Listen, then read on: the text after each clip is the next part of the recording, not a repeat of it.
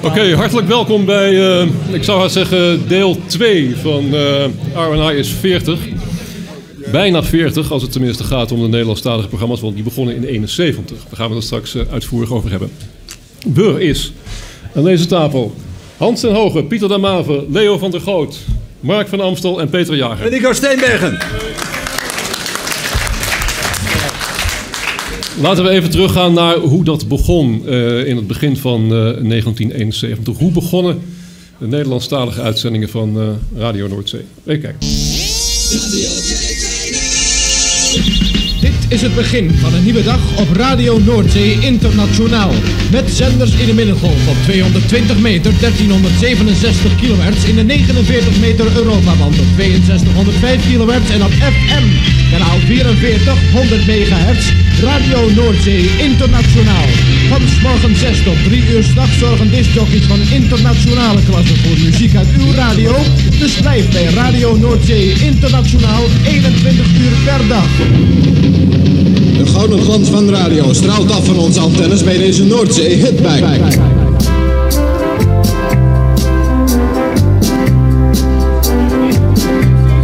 Ja, sommige mensen.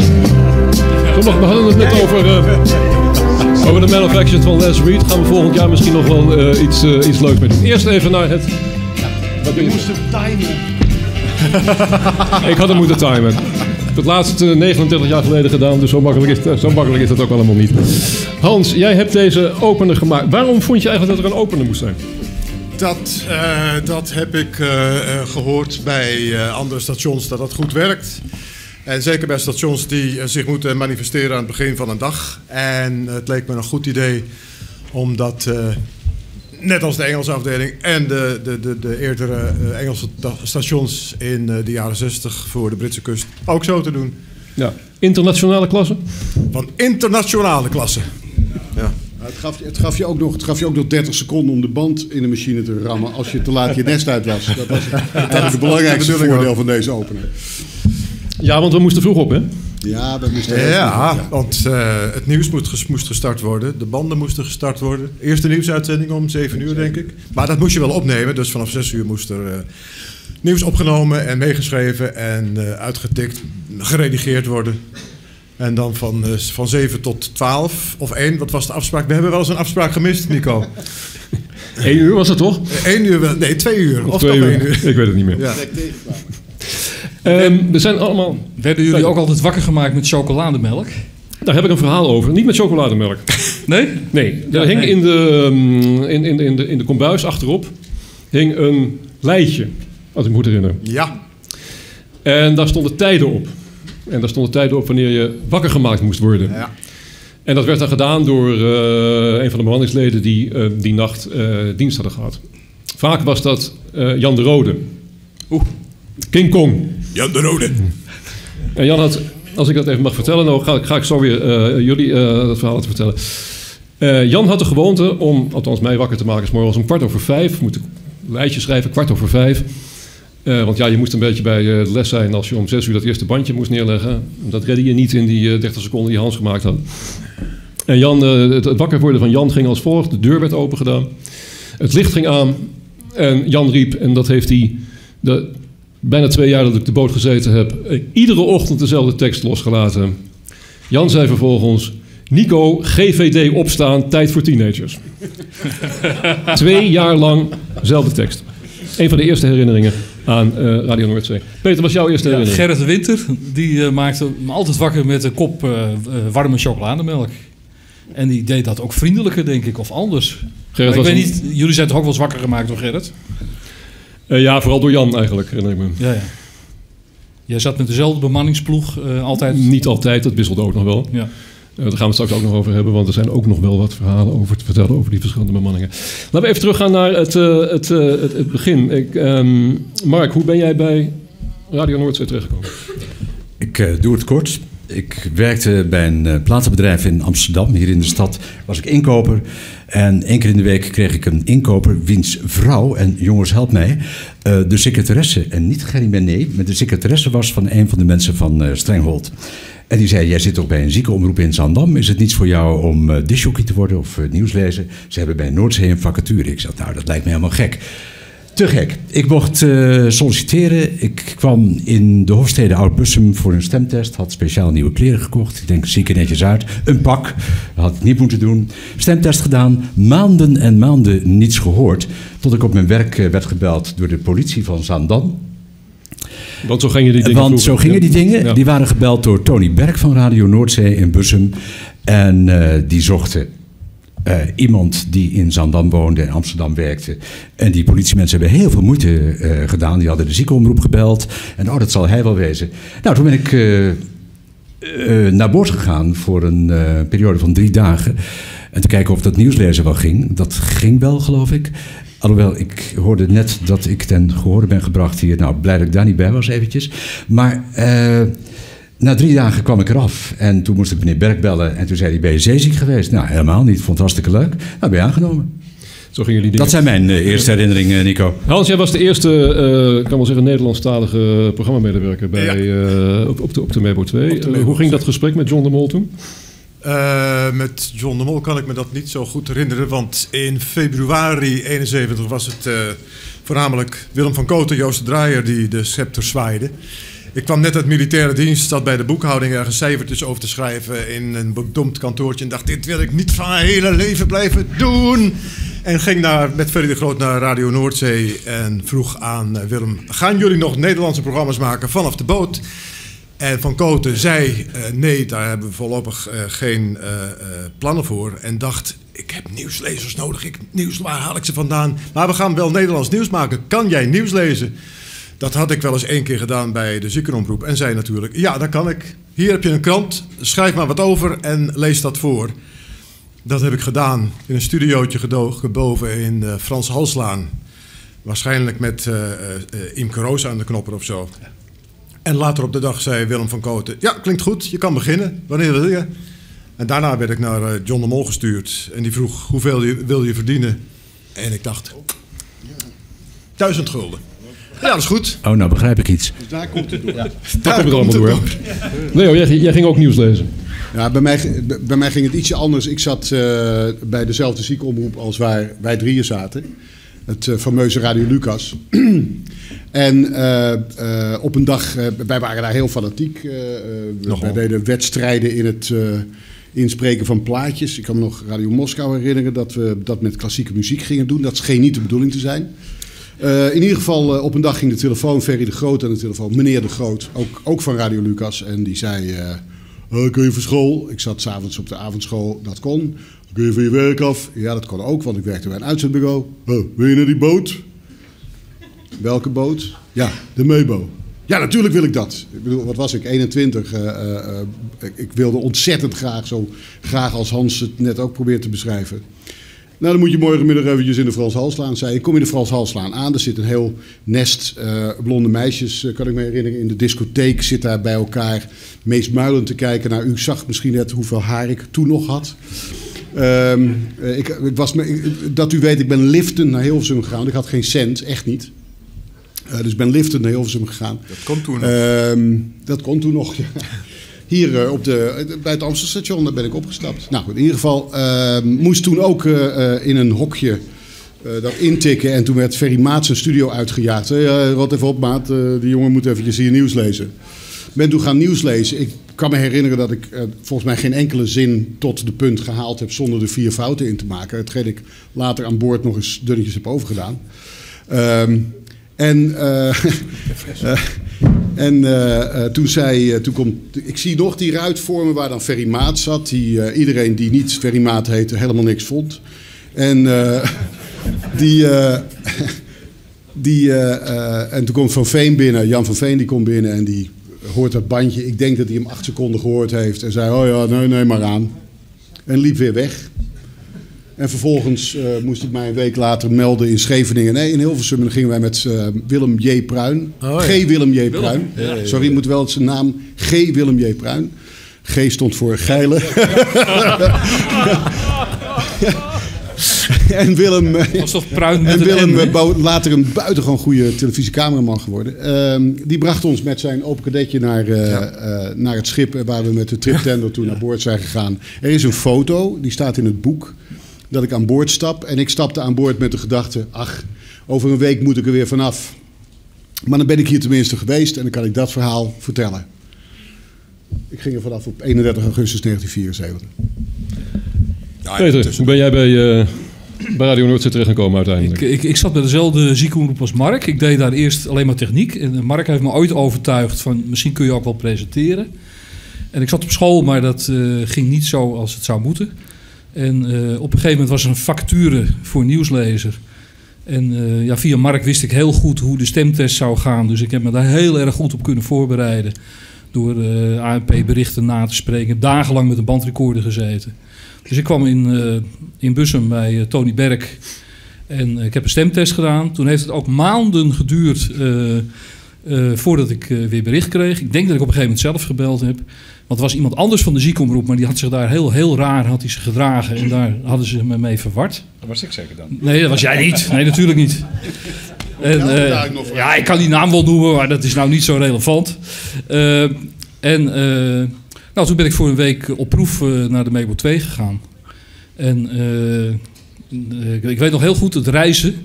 Eh wij gingen met de taxi vanaf Holland Spoor gingen we altijd naar Scheveningen en dat mocht niet.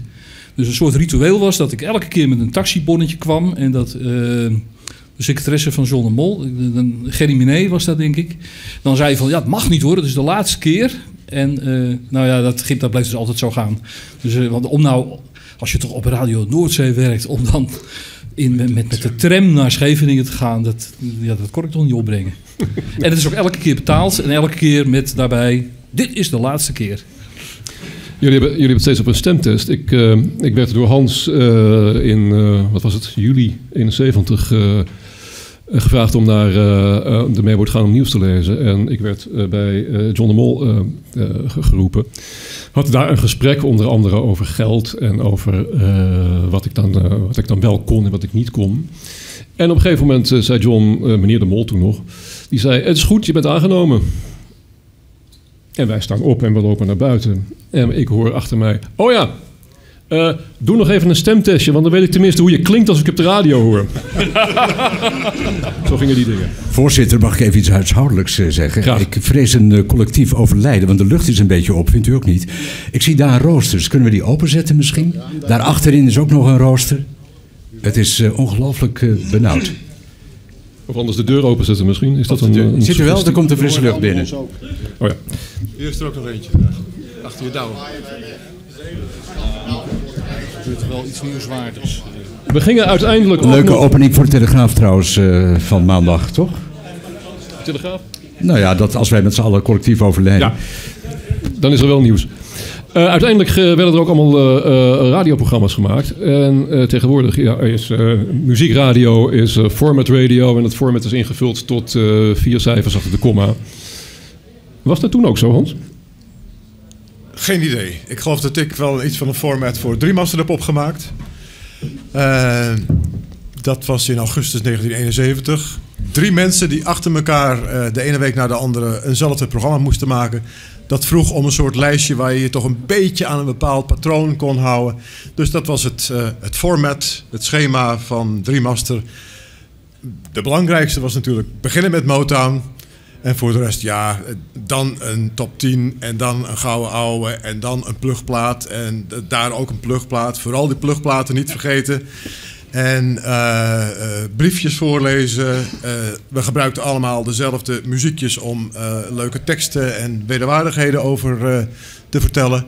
En zo bleef Driemaster dus week na week ongeveer in eenzelfde patroon klinken. Leo, was er überhaupt programmabeleid toen jij kwam? Nee, nee, nee, nee. nee. hoe doe je dat? Kom zeg. Nee, maar even terug naar dat format. Het was een echt format. Het was geen klok eh, zoals we die tegenwoordig kennen. En het had ook helemaal niet in Dalet of Power Gold of wat dan ook gepast.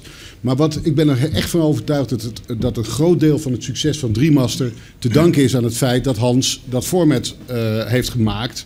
En dat Nico en ik ons daar dan ook binnen bepaalde grenzen aan hielden. Eh, maar ik weet wel dat we dat later ook nog eh, aan de wal eh, hebben volgehouden. Ik weet dat ik tot, tot op hoge leeftijd formatjes heb gemaakt En altijd heb geprobeerd van jongens, probeer dat nou gereguleerd te houden. Ik hou ook wel een beetje van non-format radio, maar voor die radio was dat onmogelijk. Je moest. er was verder geen programmabeleid. We hadden een programmaleider, een alleraardigste jongeman die Tony Berg heette. En die was buitengewoon programmaleidend. Ehm, maar om nou te zeggen dat wij iets van. Nee. N- Nee, nee. Ik, ik kan me nog wel een memo herinneren waarin stond dat het programma 2,5 minuut voor eh, het hele uur afgelopen moest zijn. En dat Ja, soort nee, dan- dingen. ja, dan was dat, dus soort mail, dat, dat soort berichten heb ik nog wel eh, ergens. Hoe ging dat in eh, de studio in Hilversum en later in ehm, eh, de Hofstede, eh, Pieter? Was daar een soort afspraak over wat we wel en wat we niet deden? Of eh, deed iedereen maar wat? Nou, je pakte wat uit een doos en dat legde hij op een pick-up. En bij Berk was dat tenminste zo. En vaak had hij het goed als hij het moest aankondigen. Vaak. vaak. Vaak wel, ja. ja. Maar niet iets van, eh, we hebben nu eh, van treiters- 12 tot 2 hebben we dit gedaan... en dan gaan we tussen 3 en 4 weer eens wat anders doen. Noem maar wat. Nou, daar heb ik niks van gemerkt. Nee. Nee, wel eens een keer van, hoor. zullen we nu zo'n grote nemen? Dat zijn die LP's. Hebben we ook een keer gedaan. En, Grote platen, kleine snelheid, kleine plaatjes, grote snelheid. Hoe vaak kwam het voor dat er twee programma's tegelijk gemaakt werden? Eh, dat heb ik eh, de laatste tijd heel veel gedaan. Eh, Tony Berk was veel weg, overdag, 's avonds. En eh, ineens moesten daar nog, eh, vlak voordat de boot vrijdagochtend wegging... eh, Willem Pruim die ging dan, die kwam die band ophalen. Moesten donderdagavond eh, twee of drie studio's tegelijk en dan heen en weer rollen. En eh, de truc was dan om er eh, geen één te hoeven stoppen. En zo maakten we wel eens drie uur tegelijk. Ja, Dat kwam de kwaliteit wel te goede, denk ik. Heel erg, ja. ja. Maar dat met hele korte aankondigingen en veel doorstarten, Ja. kwam het goed. Ja. En het hoesje van de plaat voor de ruit zetten, Ja, ja, ja. je wist... eh, ja, ja. Oké, laten we even kijken. Deed alleen Tony dat? Hm? Deed alleen Tony dat of deed Ferry dat ook? Nee, Ferry had het nooit. Nee, Niet? nee, Nee, nee. Nee, no way. Alleen Tony. Eh. Maar bovendien, eh, eh, Tony verbood het ook om het te doen. Oh ja. Hij was de baas daar, dus op dat gebied. En dus hij verbood het om iedereen dat te doen. Ehm, we hadden dus eigenlijk drie groepen. Hè? We hadden de, de, de, de radioclub in, ehm, in Bussum. We hadden een Nederlandse club op de boot. En we hadden, goed, we hebben net de heren gehoord, we hadden een Engelse, eh, aantal Engelse collega's. Eh, hoe ging dat onderling? Ging dat überhaupt? Hans? Ja, eh, aan boord ging dat vrij redelijk. We vonden het leuk om met die Engelsen samen te werken. Soms ook niet. Engelsen werkten tot diep in de nacht en sliepen dus ook heel erg uit. En eh, eh, daar had je 's morgens geen contact mee. En smiddags sliepen ze vaak in de weg, wilden ze toch al in de studio wat doen... terwijl wij daar gewoon werkten aan onze uitzending tussen 4 en 6. En ja, er waren natuurlijk wel eens wat, wat volksaardachtige tegenstellingen ook. Maar over het algemeen konden we elkaar toch redelijk waarderen, vond ik, Leo. Ja, nee, het was, het was in heel veel opzichten gezellig. Mensen als Dave Rogers, eh, Ja. Don Allen. Don Allen was... eh, mag ik hem doen? Ja, ja. Don Allen was, ja, die was heel introvert. Eh, Don Allen was ook zeker heteroseksueel. Daar hoeft u helemaal niet over te twijfelen. Nee. Zijn hut eh, was... Al onze hutten voorin waren, wat zullen we zeggen, 2,5 meter breed. Eh, een kleine 3,5 meter lang en 2 meter hoog. En die was elke centimeter Van beplakt met elke millimeter beplakt met eh, tits en asses. Alleen maar borsten en billen eh, in blote vorm. Helemaal volgeplakt. Op een bepaald moment had hij er te veel en is het de gang opgebloest. Ehm, en toen begon ook, ook de gang vol te hangen. En toen hebben ze op een bepaald moment, ja, toen kwamen, op een bepaald moment kwamen er rondleidingen naar boord. En toen hebben ze die maar eh, weggehaald, die kan. Maar de hele hut van Don Allen bestond elke centimeter uit vrouwelijk schoon. Ehm, er waren ook eh, eh, onaangename mannetjes aan boord. Laat ik het nou maar gewoon zeggen zoals het is. Ehm, ik geloof dat hij niet meer onder ons is en dat is heel erg. Maar bijvoorbeeld Crispian St. Peters, geloof ik. St. John. St. John, kan mij uitschelen. Howard Rose. Kan mij uitschelen. Howard Rose. Ehm, ehm, ik zal het hier voor de Engelsen ook herhalen. He was an asshole. En daarmee hebben we het dan ook. En een big one too.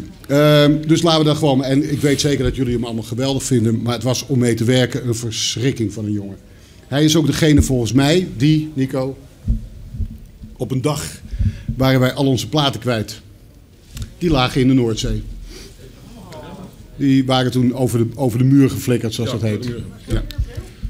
Nou, moet ik daarbij zeggen, we, de, de leiding van. Radio Noordzee heeft ook wel eens uitgeblonken in eh, eh, eh, eh, human resource in een negatieve manier. Door eh, in één dag volkomen onaangekondigd te beslissen dat het maar afgelopen moest zijn met die Engelstalige uitzendingen.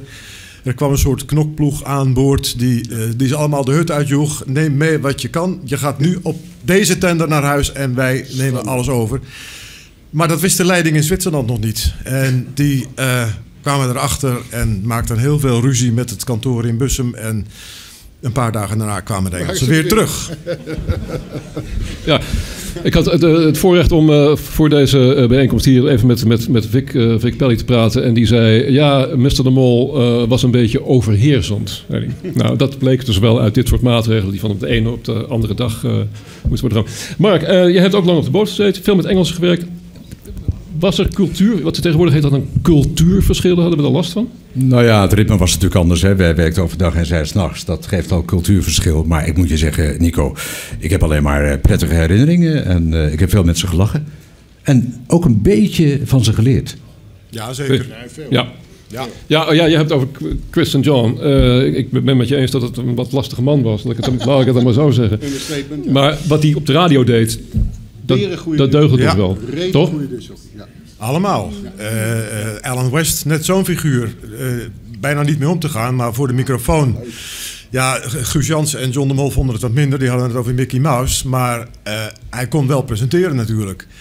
Tony Allen, fantastisch natuurlijk. Met een, alweer een, een, een radio- en tv-ervaring van een jaar of tien zat hij daar aan boord. Hij was jaren jonger dan ik, maar vanaf de eerste minuut gedroeg hij zich als een, als een, als een nestor, als een mentor.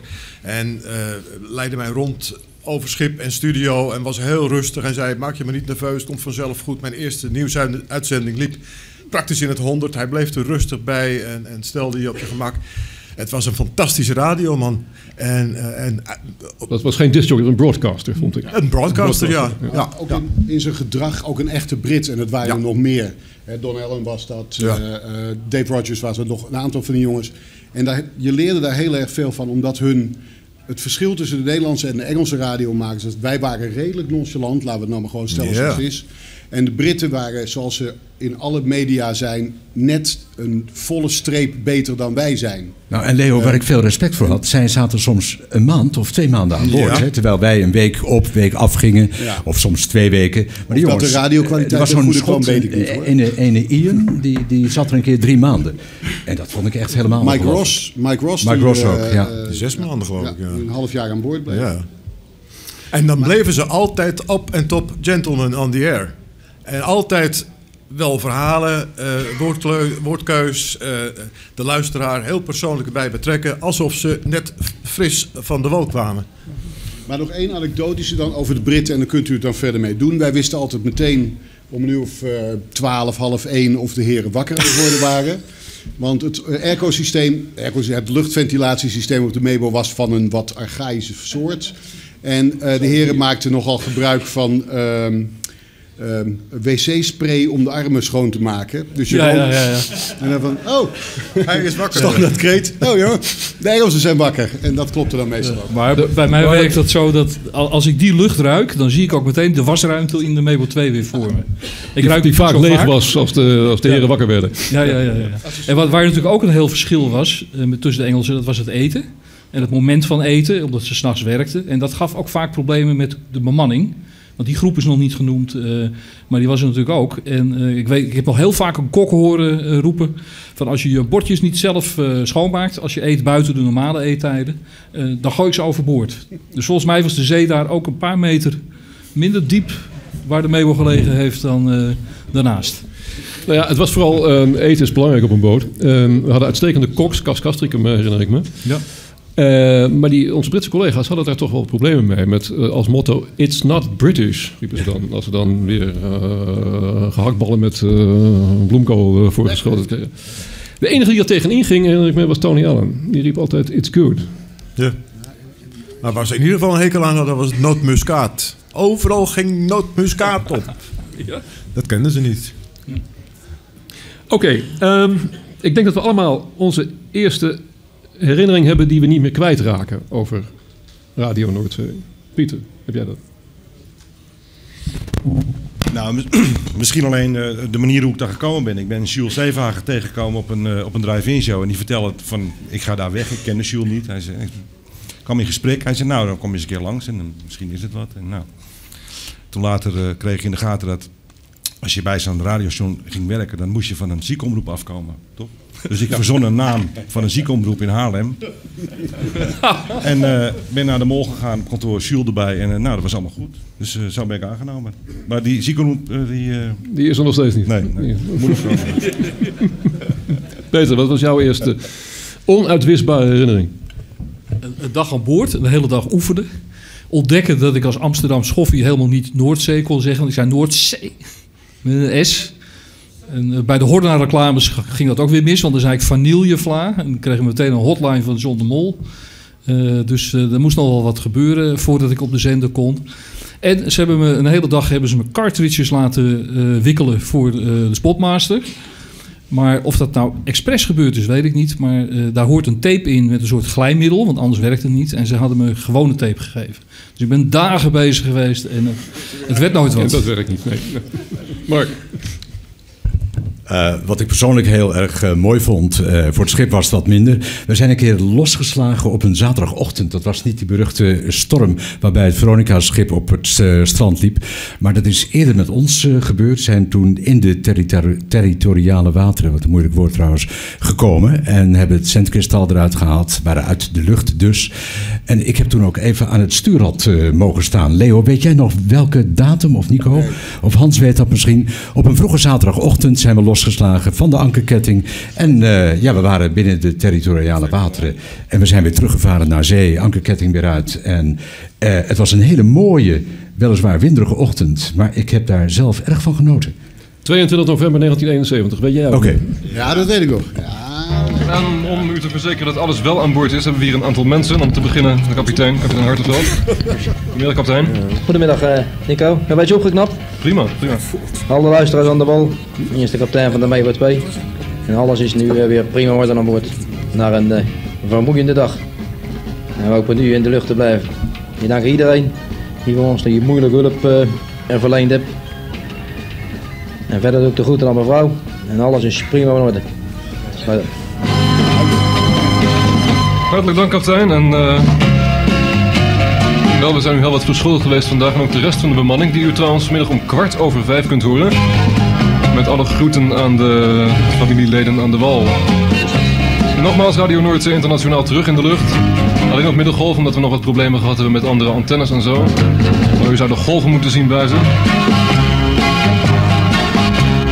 Nogmaals, de groeten van de bemanning kunt u verwachten om kwart over vijf vanmiddag. Radio Noordzee Internationaal Nieuws op maandag 22 november 1971. Dit is Leo van der Groot. Goedemiddag. Vanmorgen om 10 minuten voor 8 brak de ankerketting van het radioschip Mebo 2... terwijl het werd geteisterd door een zware zee als gevolg van windkracht 11. Het schip was bijna ongeladen en was daardoor een ware speelbal voor de golven. Om vijf minuten voor acht naderde de Mebo 2 met grote snelheid de territoriale wateren, waardoor werd besloten de uitzendingen te staken. Om acht uur precies verliet Radio Noordzee Internationaal de ether. Ondertussen werden sleeboten en reddingsboten opgeroepen. Om enkele minuten over acht verscheen de Neptune 211 van de vliegbasis Valkenburg boven het schip, die ons vanaf dat moment op de hoogte hield van onze positie. De hoofdmotor werd gestart en een van de noodankers werd neergelaten. Dit laatste had echter een averechtse uitwerking, want het belemmerde ons om naar de volle zee te varen en hielp ons slechts meer bij het naderen van de kust. Het anker werd derhalve gekapt en vanaf dat moment gingen we weer vooruit. Om ongeveer half negen verscheen de reddingsboot Bernard van Leer bij de Mebo 2. Het was echter onmogelijk voor het schip om langs zij het radioschip te komen. Rond 10 uur verscheen ook de koningin Juliana, reddingboot van Hoek van Holland... en een helikopter van de marine met journalisten aan boord. Om even voor 12 meldde zich de Smitbank en deelde ons mede dat men zou pogen vast te maken en ons terug te slepen naar de oude positie om daar te wachten op een nieuwe ketting. Na een tweetal pogingen lukte dit om ongeveer 4 uur. We waren toen afgedreven tot enige mijlen voor Hoek van Holland. De Smitbank sleept ons nu terug naar onze oude positie waar wij over enkele uren hopen aan te komen. De toestand op de Mebo 2 is volledig onder controle. De stemming is meer dan uitstekend. Wij danken vooral kapitein Hartenveld voor zijn buitengewoon goede leiding. Ook danken alle opvarenden van de Mebo 2, Scheveningen Radio, de Koninklijke Marine, de reddingsboten Bernard van Leer en Koningin Juliana en de sleeboot Smitbank. Om kwart over vijf zullen de bemanningsleden van de Mebo 2 en de radiomensen aan boord van dit schip hun familieleden op de hoogte stellen van de toestand. Radio Noordzee Internationaal is terug in de lucht en daar zullen we voorlopig nog wel even blijven. Waarom, waarom zitten wij wat besmuikt te lachen als we dit horen? Nou, ik hoor een jongen die ontzettend probeert geen plat Amsterdams te spreken. Ehm, jongen, toen zeiden we maquet, tegenwoordig zeggen macon. Maar ik bedoel, het is, het is werkelijk niet... Ik, ik heb toevallig vorige week, door een, een, eh, dat ik mijn zolder aan het opruimen ben, eh, die banden weer gehoord. Het is, ja, ik bedoel, verschrikkelijk. Ehm, maar goed, we deden ons best en eh, blijkbaar was dat op dat moment goed genoeg. Eh, maar, ehm, dus daarom zat ik, wat mij betreft. eh, eh, en het volledige verslag dat we doen. We doen bijna letterlijk het verslag. En ik moet zeggen, ik herinner me dat, en ik hoop voor jou ook, Nico. Ik herinner me dat als lag niet een buitengewoon leuke dag. Dus misschien raar, maar we slaan van ons anker. Ik weet nog dat ik zo over de rand sta te kijken van het schip, omdat we het niet geloofden. dat we van ons anker waren. En er sloeg echt, het water sloeg over. Het was verschrikkelijk slecht weer. En eh, daarna hebben we het ontzettend leuk gehad. We hebben onze, de radiobuizen, de kristallen in onze bedden ehm, verstopt. In de naïeve gedachte dat die niet gevonden zouden worden als wij op het strand zouden komen. Eh, en eh, behalve de boot gestuurd, herinner ik mij nog dat wij aan de zijkant van de hut staan. met de handen over elkaar naar de helikopter staan te kijken. die foto's kwamen maken. met het idee. Nou, vanavond zitten we lekker thuis. Hè? Ja. Terwijl we net zo goed op het strand hadden kunnen liggen of omgeslagen eh, kunnen zijn. Er lagen een paar boten op de Noordzee. We hadden na een tijdje elke nog eh, de Miamigo natuurlijk. Veronica lag een mijl zuidelijker. En eh, daar was Radio Noordzee. Hoe ging dat tussen Veronica en Noordzee? Leuk. Leuk. Ja, als het zeetje vlak was, bladgeil, zeiden de. Bladgeil, ja. Dan eh, gingen er rubberbootjes heen en weer. Je kon beter niet aan boord van de, van de Miamigo komen met schoongewassen handen, want je kreeg ze roetzwart terug. Wat een vieze boot was dat. En bij Veronica aan boord was het heel gezellig. Mensen waren erg, eh, erg eh, gastvrij.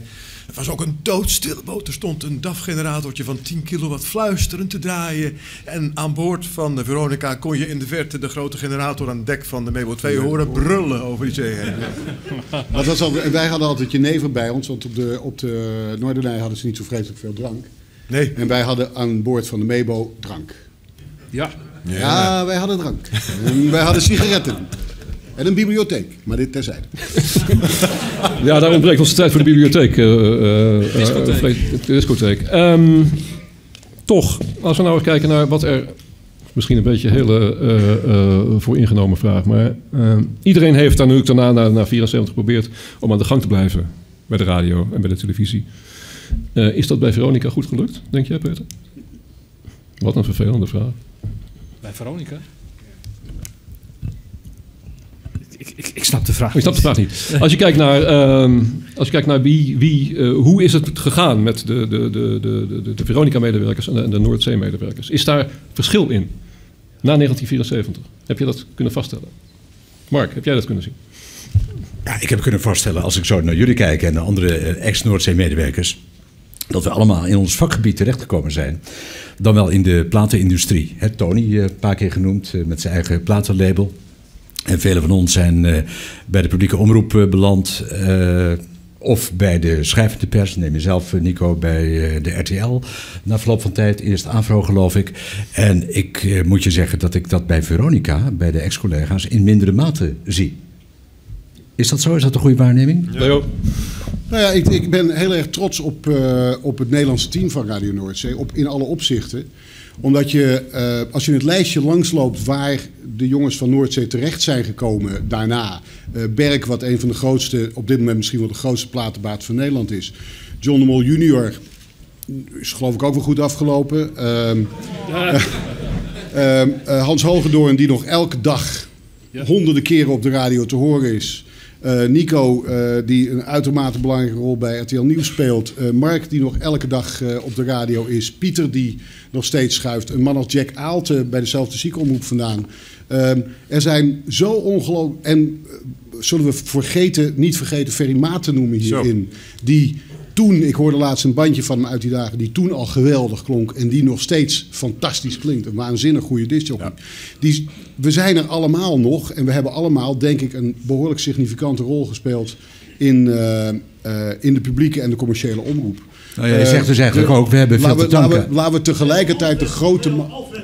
Alfred Lagarde. Hallo, mag ik even? Alfred Lagarde.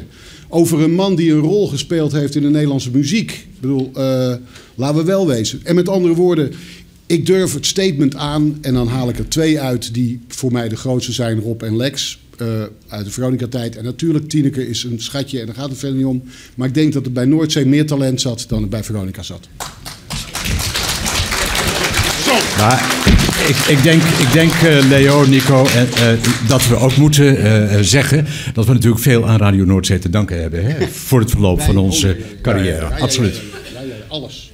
Ik ga u vragen of u nog iets aan de heren hier aan de tafel eh, eh, wilt, wilt vragen. Ik heb even één vraag. Zou iemand Vic Pelly eh, hier eh, even naar binnen willen halen? Want daar hebben we nog een cadeautje voor.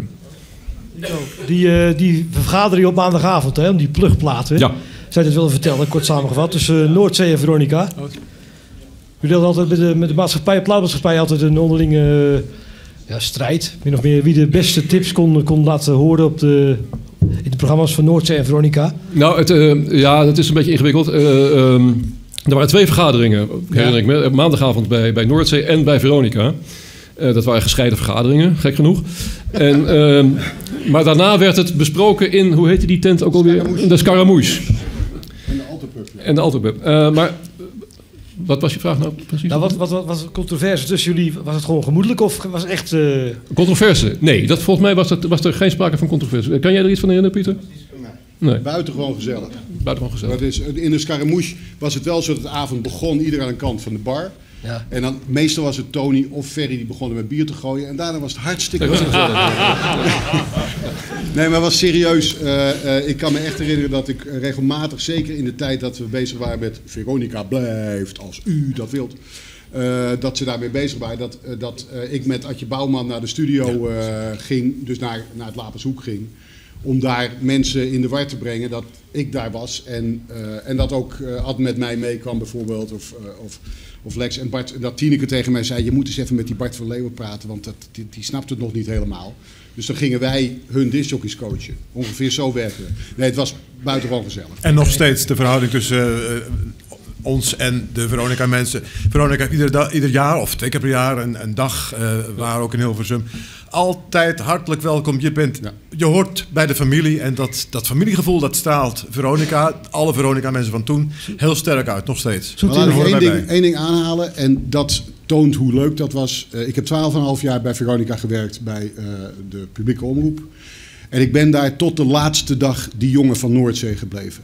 En zo werd ik ook aangesproken eh, als het over Rob en Lex en Tinus en anderen ging. En ik heb dat altijd als een bijzonder groot compliment gezien. Leo, nog één vraag uit jouw mond. Een anekdote over Alfred. Want hij was toen al rock'n'roll op de jeugdlezer. hè? Zou je iets willen, iets willen vertellen, herinnering, tot slot? Vertel jij de jouwe maar. Ik heb, Nou ja, ik heb, ik ken hem- ik heb een ja. heel ander beeld van Alfred dan de meeste van jullie hebben. Nou, het was mij eh, voorbeeld op de radio. Eh, ook qua drank, maar en vrouwen. Maar dat- nou, echt, ja.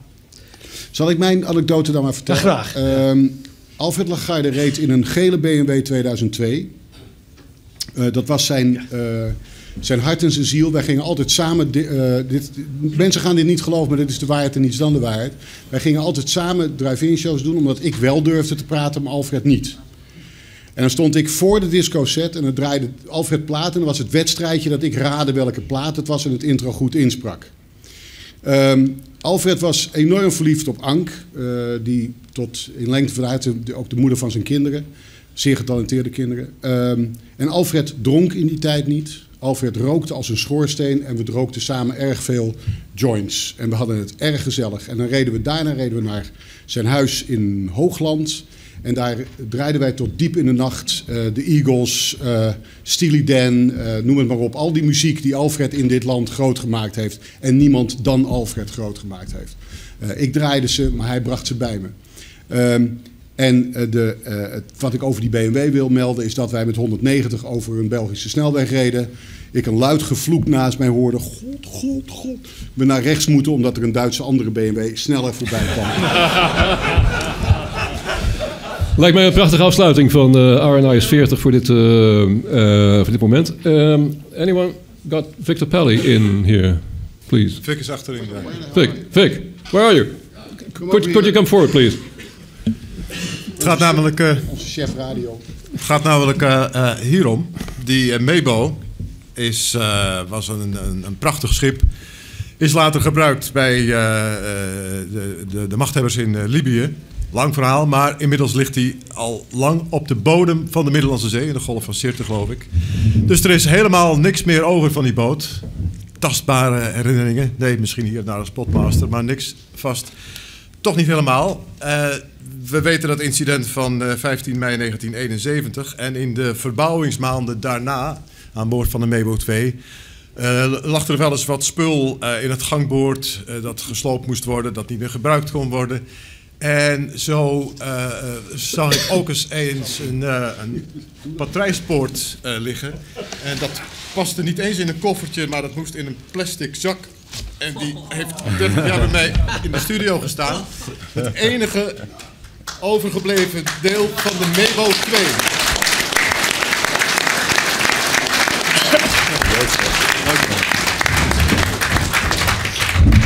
En Vic, en Niet vallen. you are the only representative of uh, the Mebo Limited Corporation. May I hand this back to you? Hey, what a surprise!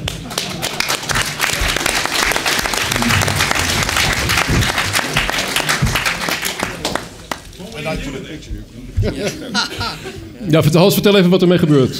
Want hij mag er niet houden. I think it's only proper that we preserve this in a nice museum. And we in Holland have one special museum, that's the Rock Art Museum in the Hoek of Holland.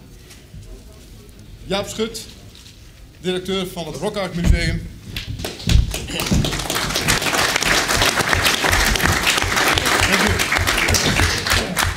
I guess it's better not to take it back to Zurich into a bank safe.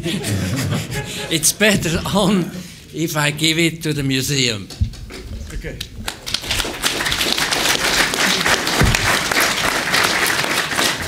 Oké, Radio Noordzee is echt 40. Dankjewel dat je hebt mogen luisteren naar willen luisteren naar ons.